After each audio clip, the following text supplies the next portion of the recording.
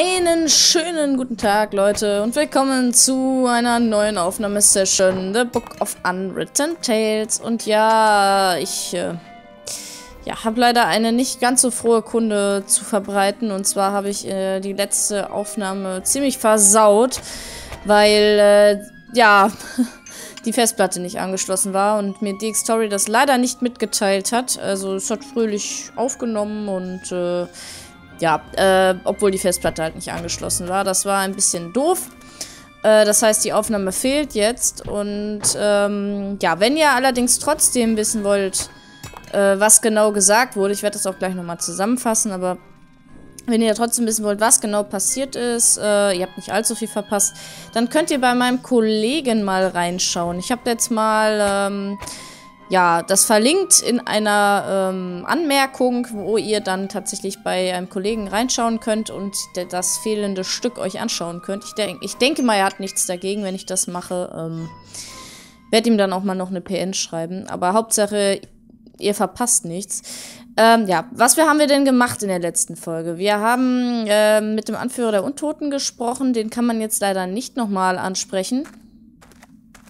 Ah, keine Ahnung, was ich fragen sollte. Ja, äh, ihr hört's, also er hat ihn quasi schon alles gefragt. Ich konnte das Safe Game leider nicht wiederherstellen. Es war mir nicht möglich. Ich hätte dann wirklich das Ganze nochmal spielen müssen. Ähm ja, er hat eigentlich nur erzählt, wie er zu diesem Ding hier gekommen ist, zu diesem Pranger-Teil. Und äh, ja, das Ganze hat mit dem Paladin, der draußen rumsteht, zu tun. Ähm, der Anführer der Toten hat wohl den, äh, die Schwester beleidigt von dem Paladin und hat, äh, ja, daraufhin wurde er dann quasi erstochen und dann hat er sie im Schlafheim gesucht und dann wurde er nochmal getötet. Äh, also quasi als Geist nochmal getötet und dann irgendwann beim dritten Mal ärgern hat, ähm, hat der äh, Paladin hier ihm diesen Pranger umgelegt und äh, das ist quasi ein Fluch und der wird, kann nur gebrochen werden, wenn der Paladin ihm für seine Missetaten verzeiht. Was er aber nicht vorhat. Er steht hier draußen und äh, will jetzt dem armen Anführer der Toten äh, zu Leibe rücken und ihn in kleine Stücke schneiden. Ähm, und hat hier eben den Kopf von dem Körper von dem anderen ähm, äh, das war gerade mein E-Mail-Programm. Ich hätte es ausmachen sollen, aber ich nehme jetzt gerade zum dritten Mal auf, deswegen werde ich das jetzt nicht nochmal anfangen. Äh, egal. Ähm, jedenfalls, das ist der Kopf von dem, ähm, ja, von dem anderen Zombie, der hier seinen, den Körper von einer Frau benutzt. Und nein, und andersrum, es ist der Kopf des Körpers, den der Zombie benutzt. So rum, huh, kompliziert. Und äh, ja, den hat hier unser, laut seiner eigenen Aussage, metrosexueller Paladin äh, als Geisel genommen. Und wir dürfen auch nicht mit ihm sprechen. Und ja, wenn wir den Paladin auf das Thema mit dem, äh, mit dem Anführer der Toten ansprechen, dann gibt er sich zickig und möchte darüber nicht Hallo, sprechen. Hallo, Prinzessin. Ja. Ja, ich mach das jetzt mal. Wegen deines Streits mit dem Zombie. Damit hast du nichts zu tun.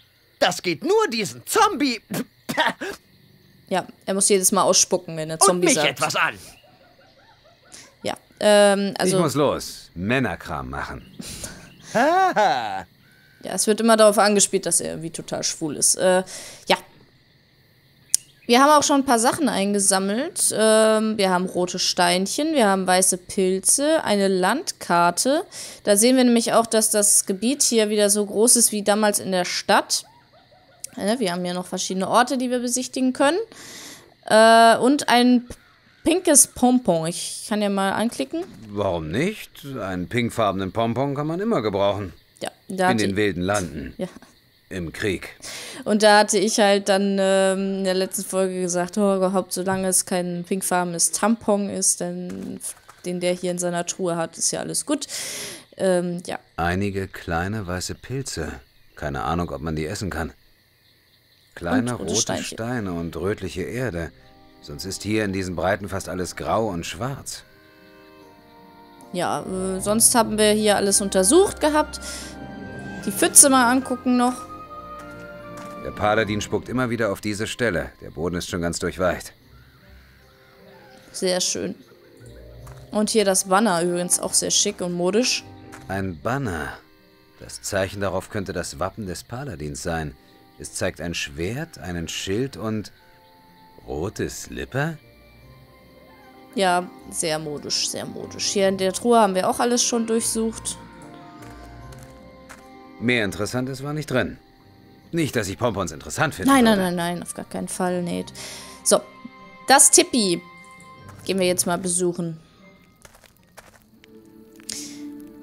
Und hier haben wir tatsächlich einen Tauren und das finde ich echt witzig, dass sie wirklich so sehr auf World of Warcraft anspielen, denn in World of Warcraft gibt es auch die Tauren und die sind auch sehr, ein sehr indianerlastiges Volk und die sind, äh, leben auch in Zelten und haben Federschmuck und rauchen gerne Zeug und ja. Ähm, ich habe das hier leider jetzt alles schon mal gespielt, deswegen ist das leider nicht mehr ganz so spontan, aber ich versuche trotzdem es irgendwie nett zu kommentieren. Es ist ja, ich bin auch ein bisschen genervt, dass das jetzt zweimal schief gegangen ist. Ähm, aber das soll euch nicht stören. Es war auch mein Fehler und das wird auch nicht nochmal passieren, hoffe ich. Egal, äh, wir sprechen mal mit der Kuh oder wir betrachten die Kuh mal. Eine dicke, alte Kuh, die eine verdächtige Pfeife raucht. Ja. Und die mich nicht zu hören scheint. Oder sich nicht beleidigen lässt. Rede mit dem Tauren. Hallo da. Hallo? Jemand zu Hause?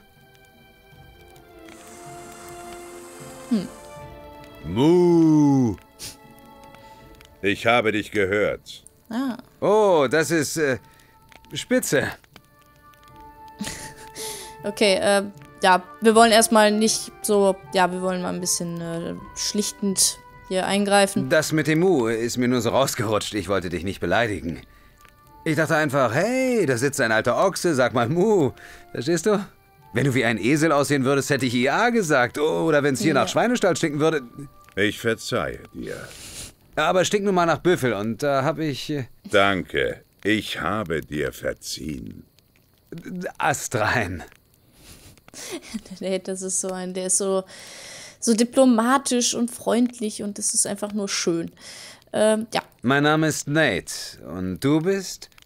Man nennt mich Schneller Lauf, Donnerhuf oder Regenmacher. Ich gehöre zum stolzen Volk der Tauren. Und äh, du hast so eine Art Kostümverleih? Ich bin ein Schamane. Das heißt? Ich spreche mit den Geistern unserer Vorfahren. Ich braue Tränke, heile die Krankheiten und beschwöre das Wetter. Wow, viel zu tun. Du musst ständig im Stress sein.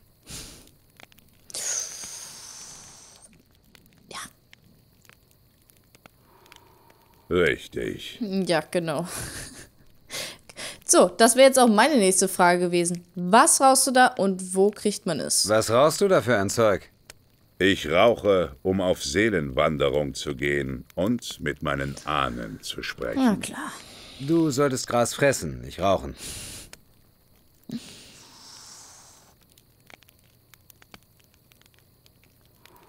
Okay.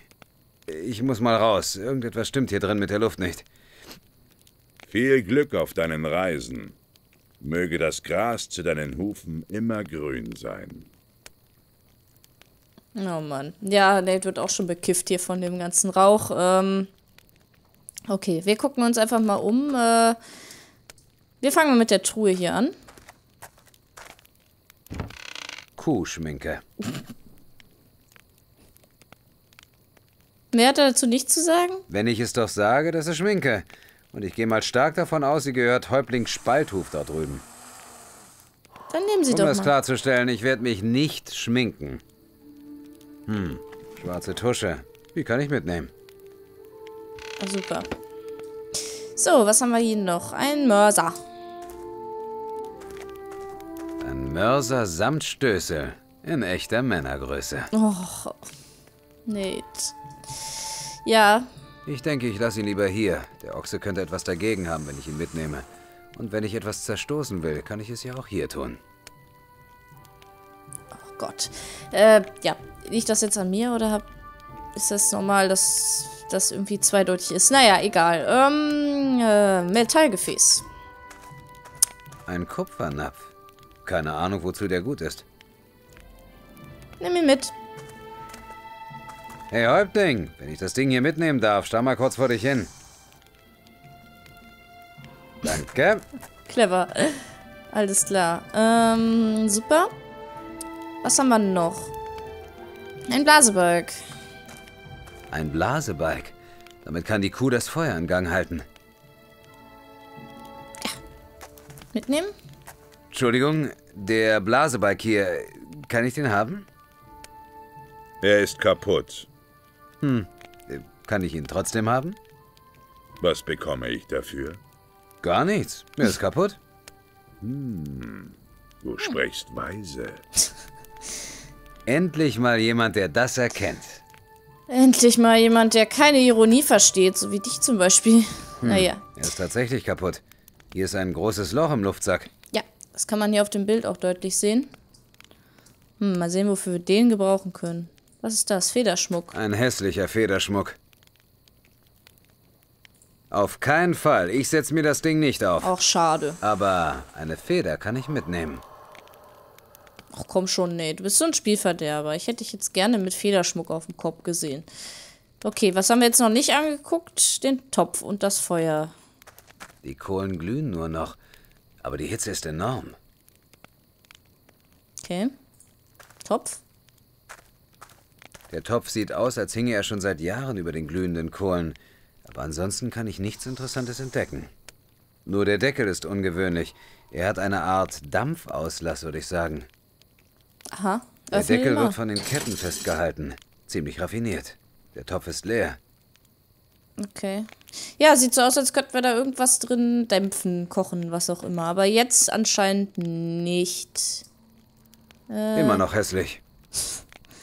Äh, Sieht so aus, als könnten wir hier jetzt erstmal nichts machen, beziehungsweise wüsste ich jetzt nicht was. Deswegen verlassen wir jetzt erstmal das Tipi. Na, raus mit dir.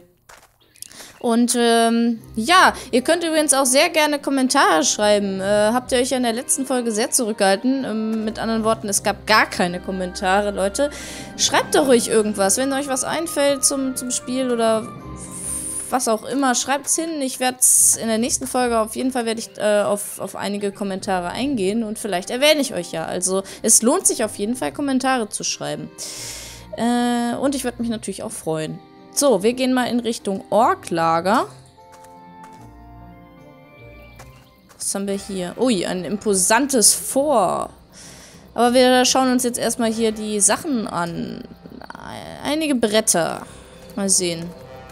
Sehen morsch aus. Die Bretter müssen lange draußen im Regen gelegen haben. Sie sind morsch und mit Grünspan überzogen. Nimm sie trotzdem mal. So, unser Inventar, uh, unser Inventar ist auch gleich voll. Ich weiß gar nicht, wie viel wir jetzt hier noch aufnehmen können. Was ist das? Ein Gerät. So eine Art Saftpresse, würde ich sagen. Oben füllt man Trauben oder etwas in der Art ein und unten läuft der Saft raus. Ja, okay. Können wir nicht mitnehmen, können wir nur benutzen. Was haben wir hier? Müllhaufen.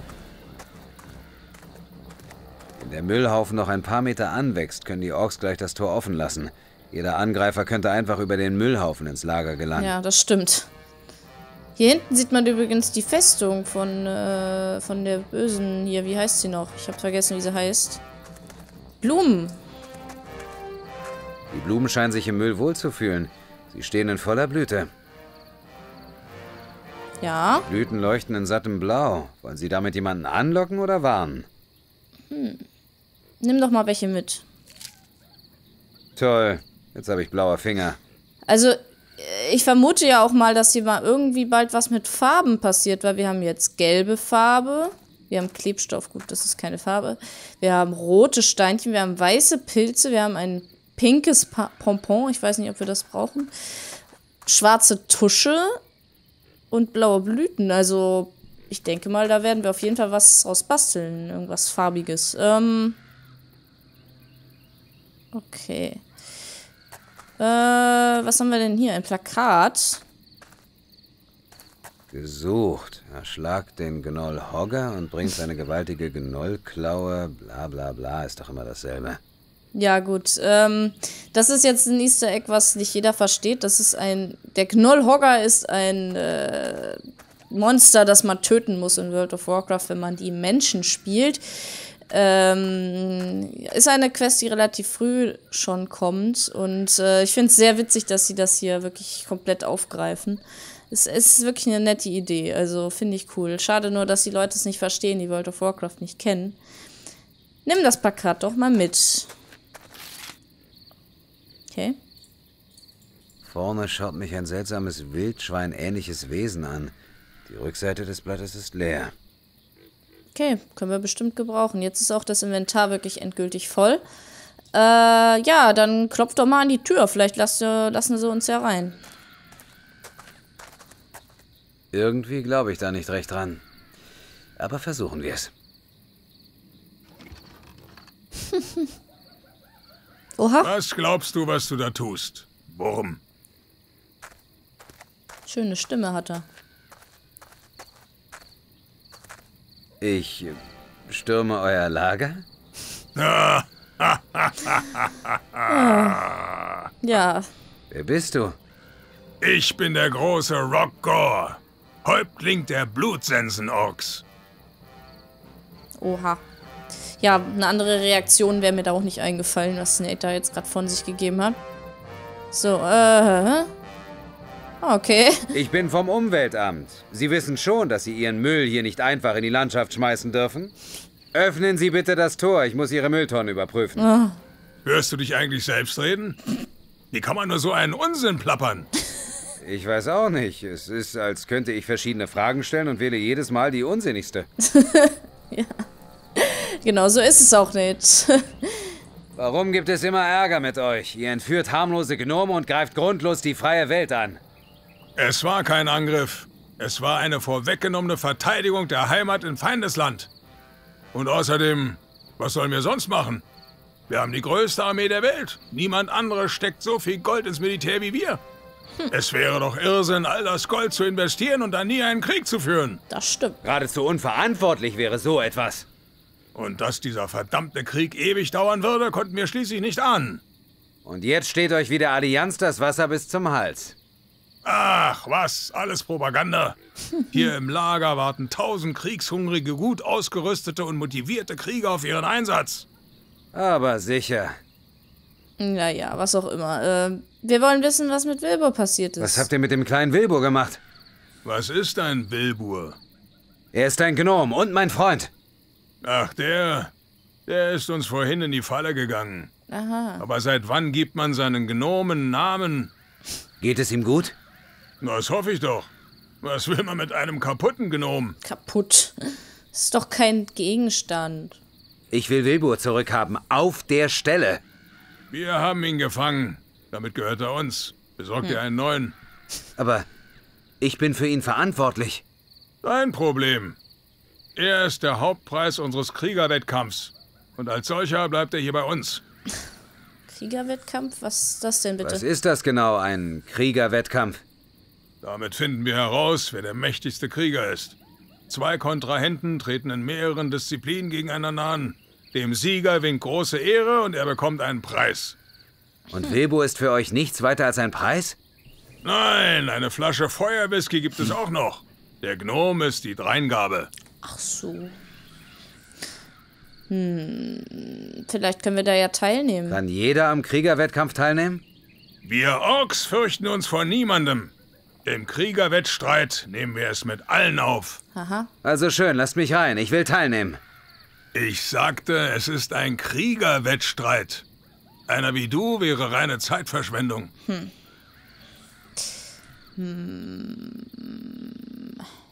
Wie es scheint, habt ihr Angst vor einer echten Herausforderung, hä? Genau. Was für eine Herausforderung? Ähm, also davor, dass ich da reinkomme und gegen jemanden von euch antrete. Ich kann dir nicht folgen. Das wäre die Herausforderung.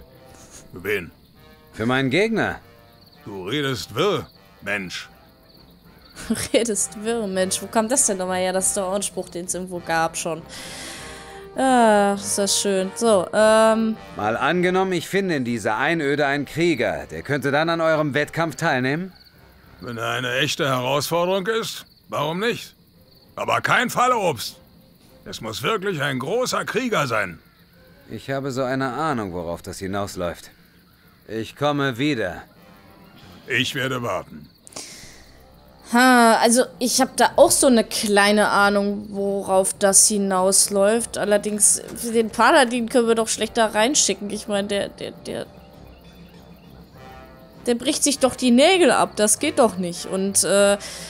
Naja, der Tauren ist zwar groß und stark, aber der sieht auch nicht so aus, als würde er da reingehen und den aufs Maul hauen. Ich meine, der ist immer bekifft. Was soll der schon machen? Naja, und sonst haben wir hier ja auch eigentlich was haben wir denn hier noch für, für Orte? Naja, vielleicht finden, treffen wir ja noch auf andere Leute, die uns da helfen können. Ähm, ich bin auf jeden Fall sehr gespannt. Vielleicht müssen muss auch. Naja, okay, er selber wird es wahrscheinlich nicht machen können. Ich bin auf jeden Fall gespannt, wie wir da reinkommen. Wir gehen mal wieder zurück. Und äh, ja, woanders hin kommen wir ja auch noch gar nicht. Das heißt, wir müssen jetzt uns mal hier was einfallen lassen und müssen jetzt mal mit den anderen sprechen. Das machen wir allerdings erst in der nächsten Folge.